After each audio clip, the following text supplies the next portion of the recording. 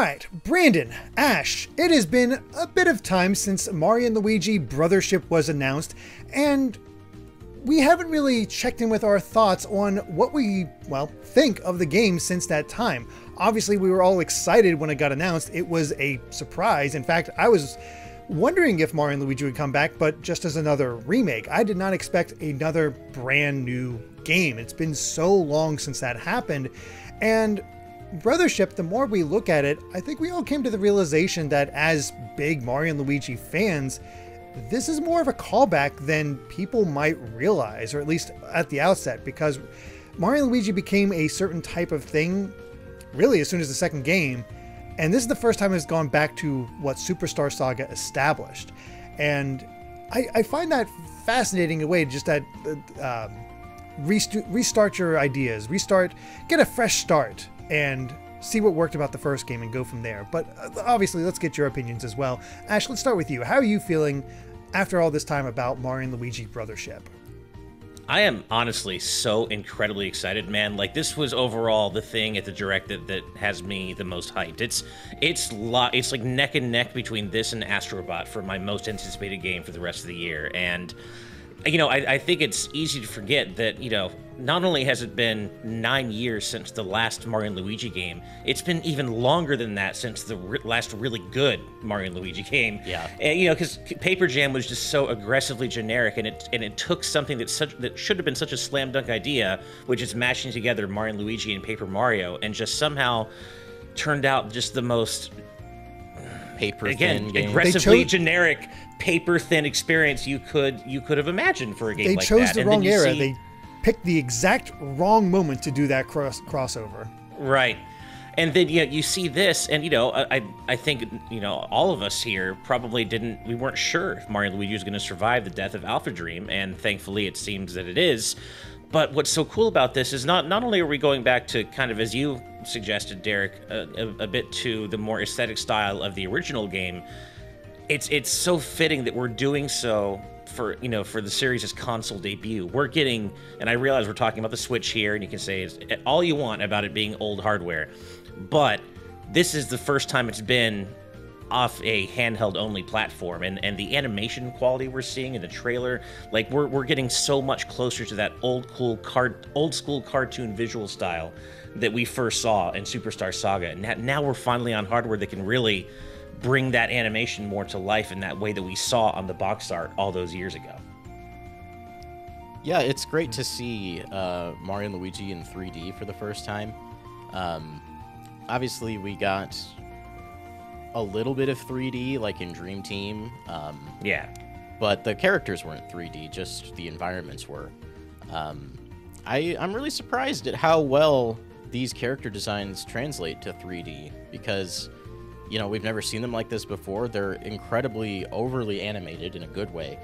Um, and I thought that might be hard to pull off in 3D, but they did it. It looks great. Um, the spirit of Mario and Luigi is there. We get that right in that opening cutscene where Luigi is running around the woods and Mario's like, "What the heck are you doing?"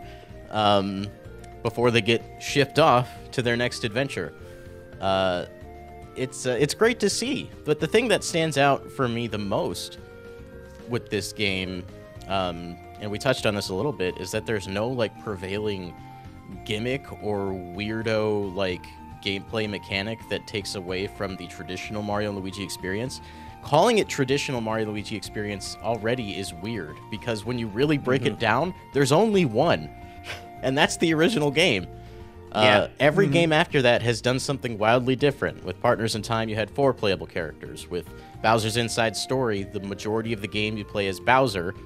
Um, Dream Team is in some ways just a sequel to Bowser's Inside Story, uh, with the dream sequences playing very similarly to the inside of Bowser. Um, and then Paper Jam, you had three playable characters, and then we got two remakes. It's wild that it took this long to get just a, I don't even want to call it bog standard, but like just actual regular sequel to Mario and Luigi. Focused. Yeah, exactly. Mm. Yeah. Yeah. It, and it can be argued that Partners in Time is basically the same as Superstar Saga. It just you know, taking advantage of, oh, not only we have two screens, we have more buttons. So let's add more characters, which not a terrible idea and keeps the basics there. But it's been a while since I've played uh, uh, Partners in Time, but it's also like that was a lot to keep track of, and the baby's only added so much. So yeah, it's it, it, sort of followed the formula, but then they hit upon that winning like everybody loves Bowser's Inside Story. It's widely mm-hmm. considered the best in the series, so it makes sense that they continued that with Dream Team, which I thought was quite good as well. In fact, I my I, I held the opinion for a long time, and I still waffle back and forth about it. I think Mario and Luigi is a stronger, more consistent RPG series than Paper Mario. Paper Mario has higher highs, but Mario and Luigi has a much better standard experience across all of its games until Paper Jam came along. and yeah. then and then those like you had the great humor, great callbacks, the great animations, uh, still had the same great dodging and uh, counterattack gameplay. It just it had it hit a note for me that Paper Mario just didn't hit. When I went and played Thousand Year Door, I was like, this is really good, but it's I miss my Mario and Luigi. It wasn't quite the same until I kind of got into the aesthetics and the the mindset of Paper Mario and how significantly different the two series really are. But then Paper Mario went into the Super Paper Mario, and then of course all the Sticker Star and so forth, where it became more of an adventure game. So Mario and Luigi sort of held up as that bastion of like this is just consistent, cozy experience with its own fun little gimmicks here and there. But now with the, the resurgence of all three, it's like man, it, it's really interesting comparing and contrasting what what each RPG series brings with for Mario. Well, you know, and that's that's so true, especially the comparing and contrasting, Derek, because you know I think it's obviously we all have our own individual opinions on both series, but you know I, I think it's probably safe to say that there are only two Paper Mario games that 99% of the fan base agrees that it loves. And then you get Super Paper Mario, which I think is great, but is still very divisive. And then you go into the whole, yeah, Color Splash, Sticker Star thing, Origami King. But then with Mario Luigi, pretty much everybody likes the first four games. I know there are people out there who are to who are going to say one of those four sucks, and that's fine. But generally, I feel like the first four games are well liked, and it's really only Paper Jam that it's almost universally agreed upon that it just kind of felt you know came up short, very generic. Um, and so, you know, I think that's what makes this doubly exciting, even more so, is that Mario Luigi has just historically been more consistent from entry to entry, which makes me a little bit more sure of what I think I'm getting with Brothership. And I say this as somebody who actually really liked the Origami King and is pretty happy with where Paper Mario is at right now. I'm looking forward to seeing where they go next after the, the Thousand Year Door remake. But like with Paper Mario, it still feels like you quite don't know what you're ever going to get from entry to entry. Whereas with, you know, Mario Luigi, you know, yeah, they, they had a misstep with Paper Jam, but it was a one-time thing, and I'm more than willing to give them the benefit of the doubt of the doubt still. Yeah, I think overall between the four like core Mario and Luigi games, there are more more faults that you could point to than even the two Paper Mario games, but I think Mario and Luigi gets an edge just, you know, for consistency. Um, for quantity, as weird as it is to say that, the fact that there are four games means that we got to spend more time developing those gameplay mechanics, seeing what we can do in those worlds with Mario and Luigi. Uh, is is where Paper Mario has only gotten to upgrade itself realistically one time. Um, hmm. So you know, it's it's not even the most fair comparison, but I think it's a valid one. Mm-hmm.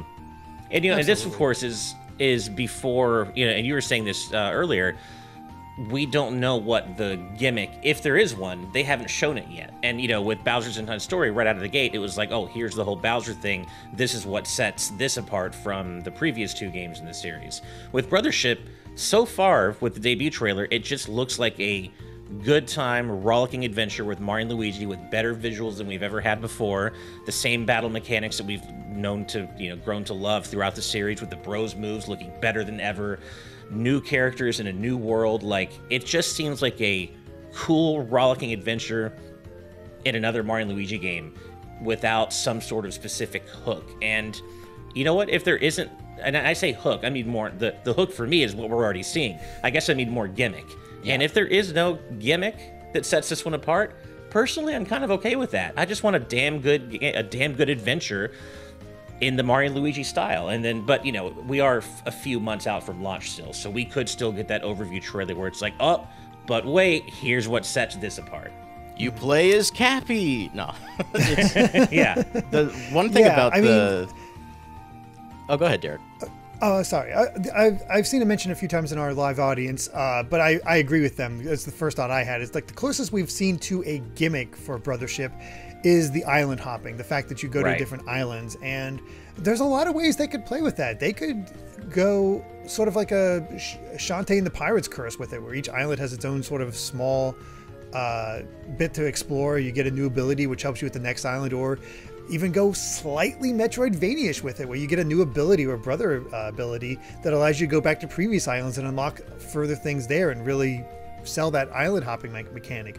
Or we are at a brother ship, they could go Wind Waker with it and actually sail between each of the islands in the brother ship and see what you do there and upgrade it as you go along. There is certainly a lot of ways they can carry the gimmick, but I don't think it's as all encompassing as what we saw with Bowser's Inside Story or Dream Team.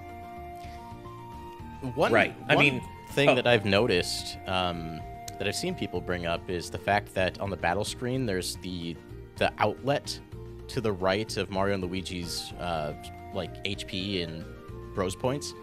Um, in previous games, we had like the badge system where every time you like did an attack, one side of the badge would get closer until they meet in the middle, and then you can use it for like a power up or whatever. Um, so I think if there is some kind of prevailing gimmick, it'll be in the combat, and it'll be whatever that system is. Um, and this is outside of like uh, you know world design and travel and, and whatnot. Um, I, I think it's also worth noting that uh, the original Mario and Luigi is like the only one in the series where the bros attacks are just Mario and Luigi doing acrobatic stuff, which is what I love. Um, I love, I, I like the item based attacks that they started with Partners in Time and after, but they kept relying on them so much um, that it got a little stale for me. Like, there's always a Fire Flower attack, there's always a Shell Kick attack. Right. Um, then you'd get some of the weird ones, especially in Dream Team, that I, I really like. Um, but I think it's cool just to watch Mario and Luigi. Uh, there's one shot of Mario like charging his hammer, and Luigi comes up behind him, hits his hammer to make it stronger. um, they're jumping off of one another in their in their normal attacks. When I assume they are just their normal attacks, which is awesome. It means that they're Yeah. more involved in each other's move sets, and that means that the bros attacks can be those item, you know, based moves without uh, forgetting where we started, letting the Mario Brothers be the Mario Brothers. It's also one of the things I very quickly noticed. It also sort of signals a shift in maybe a back to basics approach. No Starlo. Starlo was sort of like the most consistent character across the series, other than the core Mario cast. Um, like she made her appearance in Bowser's Inside Story, and she stuck around all the way until Paper Jam. So the fact that she's not here is quite interesting. Um, whether or not she never appears, that's the hard to say. But I don't think she'll be traveling with the brothers this time around. Which, again, it's it's. I'm curious how far back they're going. What what new ways they're going to take the Superstar Saga formula and, I guess, take it in a different direction. Well, and I guess that you know if they did have Starlo, which I mean, and I I personally really like Starlo, but I guess that might take too much away from the new partner character who's going to be kind of helping them out and, and trying to find them a way home. I can't remember her name at the at the moment, but it's like something like Connie, I think. Um, but that might have taken too much away from how you know their new partner character, I suppose. Yeah, Probably. and uh, I know people like Starlo. I'm one of the people that wanted Starlo ejected from our planet. Um, Oh no! What? I don't hate Starlo. I just got really tired of her. Like, Uh huh. you know, I love how weird Stuffwell is in uh, in Mario and Luigi, and you know, there wasn't necessarily a a, a a travel character in the original game, but you had Toadsworth, you had Prince Peasley, um, who showed up often enough that you could say that about them. Um, I was just tired of Starlo. Starlo had nothing going on outside of just being there to tell the player what to do. If she had like a backstory, uh, like if she came from Star Haven, like from Paper Mario or something, I would be more interested in her. But they just don't She, do Right, she did basically serve as the bro- voice for the bros Yeah, and she's, translate. she's not a character Right. of herself, really. Like she's sassy, but that's really all you can say about her. Speaking speaking of the voices of the bros, bring back the gibberish, please. Yes. please make sure they keep the gibberish. That's so important. I hope it's there, but my gut feeling is already I don't think it's going to be there. I think they've gotten rid of the gibberish, which is a, such a shame. Because the gibberish say is one of the most char- just because of the conversation between them, where they're actually talking. It's like Luigi and Oh no, no, I love them, but what makes you think they're not going to come back? Like it's not going to come back? I don't. I just ju- just a general feel. It's like I, Okay. I don't know. It just feels like they're going to go a bit more. I don't know, expressive with them, despite how many, how many people love the, how much people love the gibberish. But we also haven't seen had a scene where they're just talking to each other, where it just becomes the gibberish. That could, it could be there. It could totally be there, and I hope it is. But I, Yeah. I I'm afraid it's the gone. It- It's also worth noting that like that's an improv thing that Charles Martinet specifically had talent. You know, that's a good point. Um, yeah. Which is not to disparage Kevin Afghani. We just never heard him do it. Um, Right. And that would be a lot of pressure to put on him if he doesn't typically do improv type stuff. Because doing fake Italian is really easy to sound bad. yeah. yeah. Um, and also to correct myself from earlier, I, I actually think the partner character is Snoutlet. Connie is a different character, but uh, as one, as one of our live audience members uh, pointed out, Squire, yes, Snoutlet is such a goaded name. It's pretty great. I love the stupid electricity outlet puns and theming of Hmm. this game. the, like- the full extension gang. What do they call it? The they call it? full extension something? core. The ex- Oh, It's that's- so I missed that. That's good. good. oh yeah, no, it's so good. It's oh so good. man, I and that probably plays into the the little outlet on the the battle Yeah, screen. the extension cord. It's Yeah. so good. and, and he's saying full extension with that crazy pose. Oh yeah. my god, this. I love the weirdo characters in Mario and Luigi, and they, they've definitely knocked it out of the park. And Yeah. we've barely even seen any of it yet. I, I, just to have another sort of mild concern for the game. I, I, I I'll try to confirm with Ash, but does the music feel Shimomura to you? Because for me, it doesn't Right. really. So I was gonna bring that up. Yeah, I, I I go back and forth. I feel like the first half of the trailer sounds a little bit more like her, and then the second half doesn't. And I feel like it's weird because you know the, the Mario Luigi series has only had one composer up to now, and that is the goat Yoko Shimomura. But you'd also think that because that's true, if she was on this one as well, she probably just would have confirmed it on Twitter after the the game was announced, because it's certainly enough people asked if she was coming back, and she hasn't said anything. So I'm kind of starting to think maybe she she's not back for this one, which I can't imagine Nintendo wouldn't have asked her. But you know, she's probably busy with multiple other projects, including Kingdom Hearts 4. But that's going to be a bit of not not to say that the soundtrack can't still be great if it's not her, but it's just she's left her mark on this franchise so much that a Mario Luigi game without her style of music is just going to feel a little weird. I think it's Maybe also she'll have a worth few noting- guest tracks. Yeah. It's also worth noting that Nintendo has been very cagey about what developers are developing games, and True. maybe that mm-hmm. extends to composers as well. There can be a variety of reasons that they want to do that, and I respect the decision because, you know, there could be some unwarranted harassment towards certain companies. Uh, Like the game might come out from a company who doesn't have the greatest track record, and it could be excellent, and they just want to avoid that. Um, Right. Not that Yoko would have any issue with that at all. It's just Right, but it's just a- She's an all-encompassing policy because Yeah. it, it really does feel like Nintendo almost wants to convey until the game comes out that this is just a Nintendo game. It's made by Nintendo. The people that are working for us are Nintendo. obviously we can only hope that they're bringing her back just because again it's really been her her series in terms of the music since the beginning so it certainly would be strange for them not to bring her back and uh, you know we should i don't think we should read too much into things either way yet but yeah it's certainly far from confirmed What else has stood out for you guys? Like concerns, uh, stuff you're excited about? Like, how, how are you feeling? uh, Or even just in comparison to, again, we're talking about how this feels like a throwback to Superstar Saga. what other connections have you noticed? I like the the little mini games you play with Mario and Luigi. Uh, there's one where they're like, I think they're like hitting, were they flowers? With their yeah, hammers? like, Yeah. Uh, that's just literally the mini game from Bowser's Inside Story where they're hitting the the energy balls at Bowser's muscles from the inside. It's the same oh, thing. right. Um, I also like the little bit where they are they're wall jumping together. Uh, that just feels right out of Superstar Saga for me. Like when they're walking up the uh, the pipes to underwater by going back to back and then climbing up with their feet. I know those are like little things in the grand scheme, but I love the ways that they make the brothers work together to traverse the environment, and I'm glad to see that that is still here um, and an important part of the gameplay. Agreed.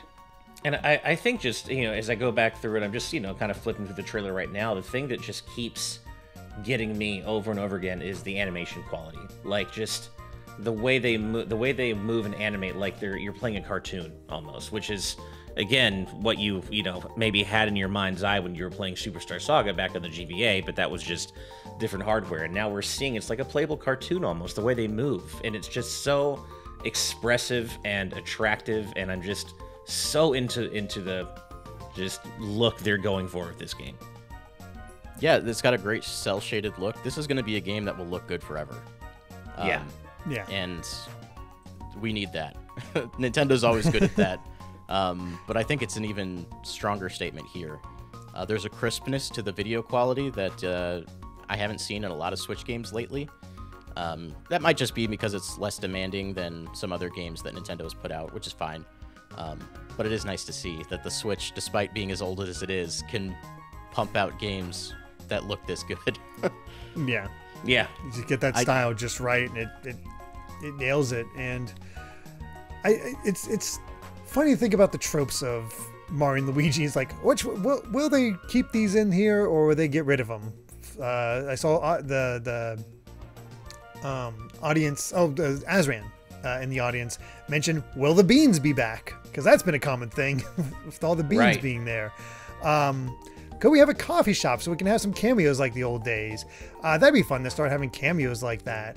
Uh, will Bowser be possessed and be our final boss or some Oh version of the final boss? Again. Uh, again, Yeah, right. Will that will that be a thing?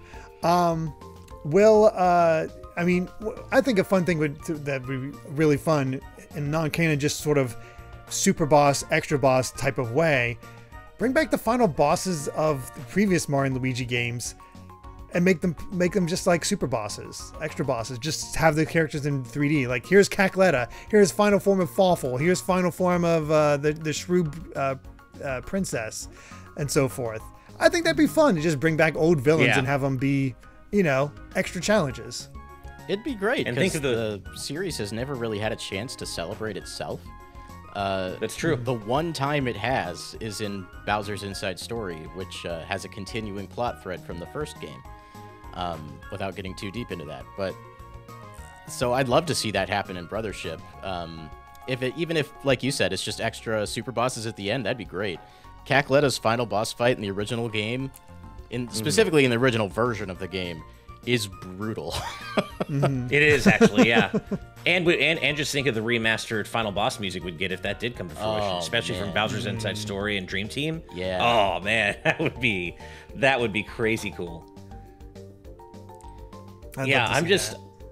I'm just really uh really so excited that just the more I watch the trailer and the more I think about it and just the more that, that we're just getting a new Mario and Luigi game in, in the year 2024.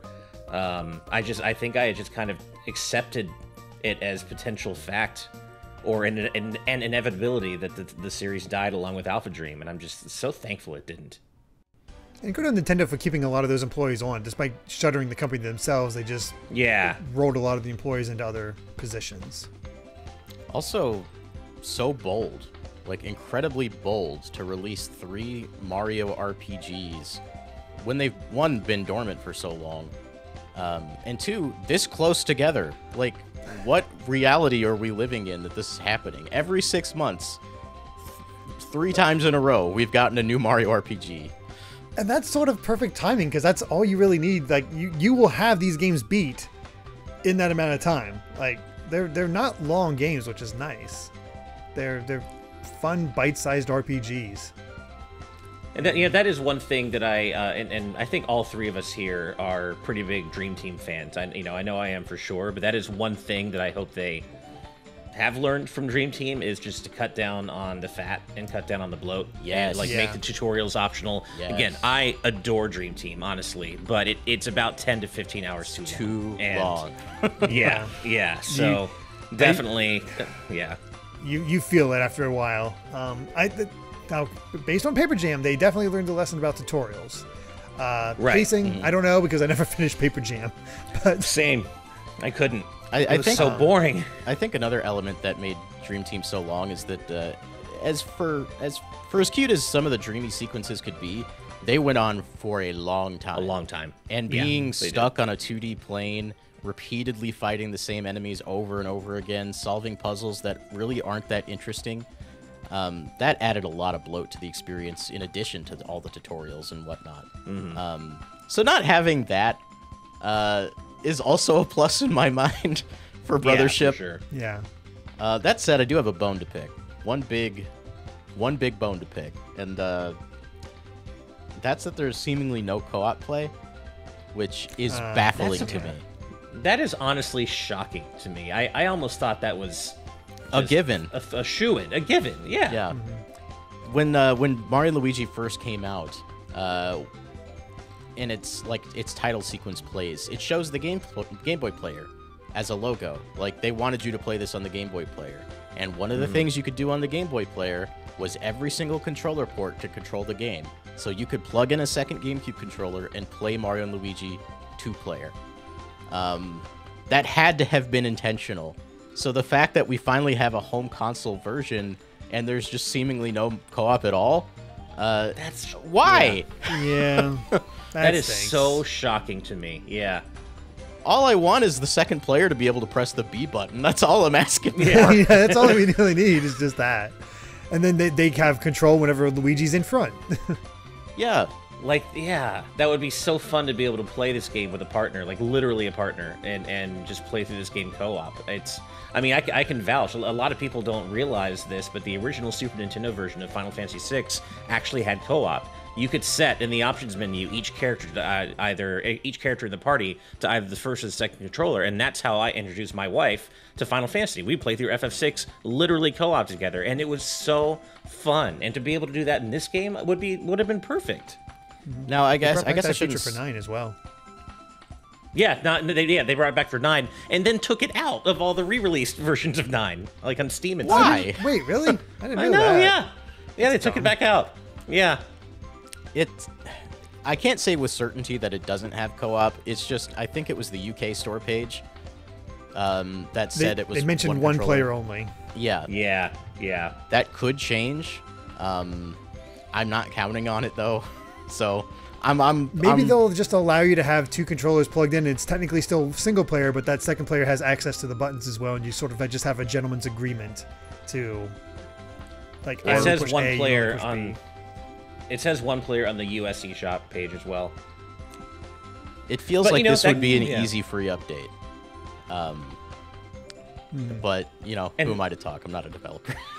you know, and I mean, this could also be something where that that's one of the things they're kind of yeah, holding back for another True. beefier trailer, and they can all easily amend the eShop pages. True. Yeah. Honestly, co-op is the only thing that they could add to what we've seen already that would make this a perfect game for me. Um, It'd just be fun to sit on the couch, play, play this with Michaela. Um, you know, giving the second player only the responsibility of pressing a single button makes it easier for you know younger players to play alongside you, or less experienced players, I should say. Um, So I, I think that would just be a great option. It's also this is the Switch. Handing a person a Joy-Con is the entire concept outside of handheld Right. play. So I don't know. It just seems weird. Agreed. It is quite odd, but oh well. Um, I don't know. Uh, any other thoughts we want to get out there about Brothership uh, before we wrap things up? The only thing I'd say is I wonder if maybe we might see some sort of like ship-based combat since we're sailing the high seas, right? Like I wonder, you know, uh, we were talking about it, you know, going possibly in Wind Waker's direction at some point. I don't think there will necess- necessarily be that much sailing from island to island, but I do wonder if there will be encounters out in the open sea and if maybe there will be some sort of like alternate combat system while you're out on the ocean, like ship-based combat. You know, kind of like we saw the giant Louis, like Dream Luigi combat and Dream Team, Papercraft that sort of battles. thing. Yeah, some sort of yeah. It's like in, instead of the the giant battles, maybe shit battles or something like that. Maybe, but them in mini Maybe. games. I mean, I guess we got the paper mache battles in Sticker Star, and for the remakes, we too, got I all forgot. those. We got those army battles, but we didn't really do much. So I guess they could add that, but honestly, Doesn't need it. yeah, I prefer just to stick with Yeah. The core Yeah. concept or expand upon the core, core concept in the in the in the uh, vein of a ship uh, based battle, I guess. If it's if it's not a Yeah. fully featured system, um, I, I don't want it. like Uh-huh.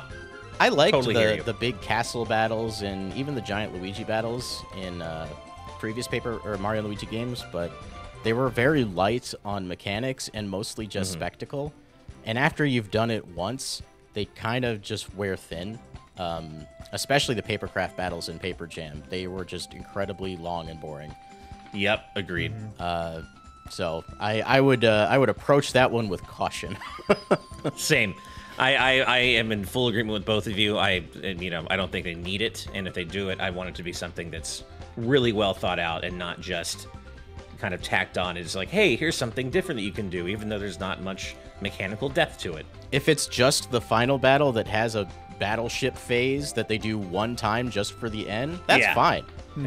right. I don't need to do it seven Yeah. times without without any difference. Yeah. Uh, before we actually fully wrap things up, I- I'm going to ask you a challenge. What's one crazy thing you'd want to see in this game? Before we, uh, Wario and Waluigi. you want Wario and Waluigi? Okay. I want them What to about be the- a Team Rocket type s- setup where they just show up occasionally, uh, like like uh uh Pop, what's his name Popple, or what was the thief in Oh. Superstar Saga? Oh, Oh, yeah. I. Um, I, you might have been right. It might have been Popple. It's been a, a while. Not, that not guy Fawful. in in Rookie, um, Popple and Rookie, yeah. Uh, I would love yeah. them to just take that role where they just show up occasionally to cause chaos, but they really have no stake in the plot. Uh, I think that would just be funny. Waluigi wants attention. Okay. Wario wants the money. And then you fight them, and then they can use bro moves and stuff, just like Mario and Luigi. I think that'd be cool. yeah. What about you, Ash? Uh, you know me. I I- you know I, I I love a good bit of chaos, and uh, with the original or with the uh, recent Super Mario RPG remake, just putting a potential sequel in the minds of everybody yet again. You know, yet again, Geno cameo, man. Superstar Saga had that Ge- Geno cameo, and it, it you know never really faded from the collective consciousness of Mario and Luigi fans. So just throw a random ass Geno cameo in there, just to get people thinking and wondering even more. just just to throw that little bit of chaos in there. You had the, Or you know what, Daniel, I agree with you. A Mallow cameo instead. I would rather have a Mallow cameo. I agree with you. You have uh, all the EGAD cameos in the original game at the at the cafe. Yeah. Uh, let's have another cafe system, and it's all Mallow this time. it's all Mal. All about it. All about it. Welcome to the fluffy Uh. cloud. I'm Mallow. How, what can I make for you? Perfect. I like it. Um, so we have a ship. We're going from island to island. And Mario and Luigi likes to do callbacks. Like it was, it blew my mind when I first played Superstar Saga because it was the first time that the Koopalings were reintroduced in a long time, and I was that was I was literally giddy as a kid because Super Mario Brothers 2 was so cool and just like actually refighting them. Um, I want to go to Sarasaland. Oh, Yeah, that would be sick. That would I, be thi- I think a callback where the desert area or some sort of special area is Sarasaland. Hell yeah, let's do this. Yep. Exploding Koopa Troopas and all kinds of weird stuff. And just Daisy being in the game, period. yeah, Yeah. That'd be fun. That would be awesome. I would love that. it would be kind of interesting if all like the tertiary characters like Peach, Bowser, Wario, and Waluigi, if they're there, just had like a Luigi uh, like equivalent, so that you Mm-hmm. could do bros battles with everyone. Like imagine a bros battle between Mario and Luigi and Peach and Daisy. Uh, That would be cool. I think there's a lot That'd of fun, fun. stuff you could do with that. Mm-hmm. Absolutely. I think if you're going to have a gimmick, have it be that, which you can swap between bros, or give it like a, a Sonic Advance 3 thing where you can just have different team ups. Mm-hmm. oh yeah. That'd be, Love a, that. that'd be a fun way to, I guess, expand it for another sequel. I don't know if they're going to do it for this one, but that'd be a fun one to just like, what what's the team makeup if you have Luigi and Peach, or Mario and Daisy, or Luigi and whatever, you know? Call it Mario Ah, and that'd be- Luigi Supreme Team. There you oh, go. that's so Ah, good. I like it. I that, like that it. sells itself. That's so good. Mario Luigi double date. That's that's a good one too. Oh, that's good too. Yeah. Yeah, Yeah, that's I like great. that. That's the fun part about Mario and Luigi. There's always a lot of potential. So that's I think that's why we're so excited for Brothership. This is a fun Yeah. return to form, a nice way to get things rebalanced, restarted, uh, reset, and let's let's let's set sail for new adventure. Hell About yeah, I'm ready. November cannot come soon enough. Seriously. But for now, I think that covers it for our uh, thoughts on Mario and Luigi Brothership. Thank you all for watching, and if you enjoyed this video, please consider supporting us on Patreon at patreon.com slash gvgaming. But even just subscribing to the channel and ringing that bell helps us a ton. Uh, and of course, hey, we have all these lovely people in the live audience. By joining the Patreon, you get to join them for these discussions as well. Uh, we're trying to make that a much more common thing, so uh, keep an eye out for that. Otherwise, until next time, bye. See ya. Bye.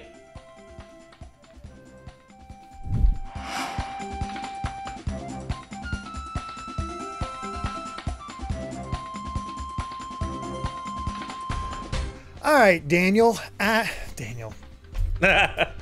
Daniel. Even better. Even better. Uh...